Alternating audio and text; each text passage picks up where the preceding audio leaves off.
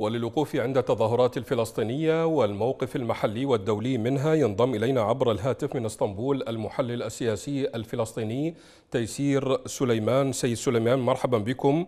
لنبدأ من مطالبة الرئاسة الفلسطينية طالبت مندوبي دولة فلسطين في الأمم المتحدة وأيضا في الجامعة العربية والاتحاد الأوروبي للتحرك من أجل وقف مجازر الصهاينة. تعتقد أن هذا حل يرضي المتظاهرين سيد سليمان؟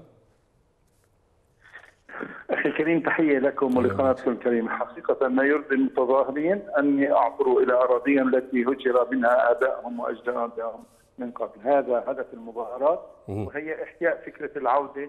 وفكرة العودة انها حق فلسطيني يجب أن يطالب به الفلسطينيين مع تكالب بالمنظومه الدولية وعلى رأسها الإدارة الأمريكية وبعض ما يفعله بعض الدول في الأمم المتحدة من محاولة آه، الضغط على اللاجئين الفلسطينيين من سحب بعض الميزانيات. من محاولة تغيير القضية الفلسطينيه.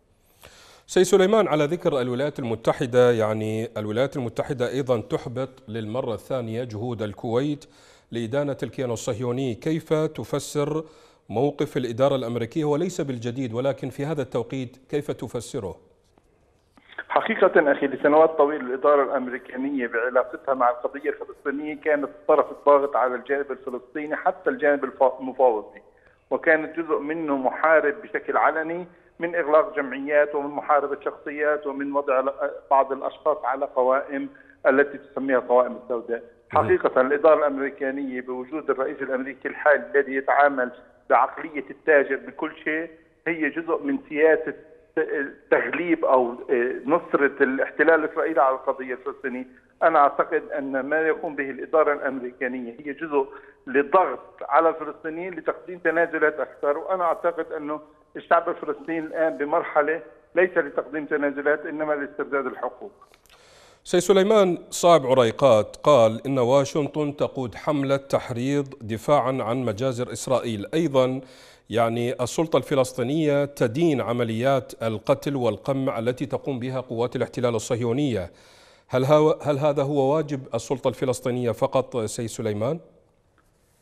أخي بما أنه بالأجواء المواجهة ضد الاحتلال نحن نرى أن كل شخص يستطيع أن يقدم شيء للقضية الفلسطينية إيجابا. أول ما يقوم به صائب عراقات والسلطة الفلسطينية هي التراجع والإقرار أنهم أخطأوا لسنوات طويلة بقضايا تخص الشعب الفلسطيني ومنها الاعتراف بالقضية أو باعتراف بالاحتلال الإسرائيلي أو بالتفاوض مع الاحتلال السوري أو قبول الولايات المتحدة كوسيط محايد بين قوسين. على المفاوضات، أنا أعتقد أنها بإمكان السلطة الفلسطينية أن ترفع يدها على الاعتقالات السياسية في الضفه الغربية، أن تسمح للمقاومة أن تكون جزء رئيسي في منطقة الضفة والضفة ليس كغزة، الضفة الغربية مسدس وقطعة سلاح تستطيع أن تفعل الكثير ضد الاحتلال، والأمر الآخر وهو أمر رئيسي أن ترفع يدها وحصارها عن المواطنين المقاومين في غزة وتدفع لهم الرواتب التي تحصل من الضرائب الفلسطينية. أه، سي سليمان تعتقد أن التحرك الفلسطيني تجاه المجتمع الدولي يوقف الانتهاكات الصهيونية في المستقبل على أقل تقدير في المستقبل المنظور؟